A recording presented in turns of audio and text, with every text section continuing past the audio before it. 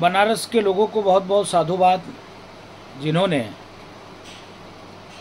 साईं पीर की मूर्ति को हटाया। जिस प्रकार से सनातन को मानने वाले, सनातन संस्कृति को मानने वाले साईं महापुरुष हो सकते हैं, संत हो सकते हैं, महामुनि हो सकते हैं, धर्मात्मा हो सकते हैं, महात्मा हो सकते हैं, पीर हो सकते हैं ओलिया हो सकते हैं, लेकिन वो भगवान नहीं हो सकते। लेकिन नास हो कुछ ऐसे हिंदू जनमानस है, जिनको साईं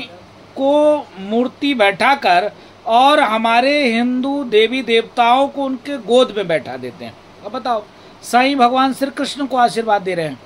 भगवान विष्णु को आशीर्वाद दे रहे हैं, भोले बाबा को आशीर्वाद दे रहे हैं, जगत जननी माँ जगदम्बा दुर्गा को आशीर्वाद दे रहे हैं तो साईं कोई भगवान तो है नहीं।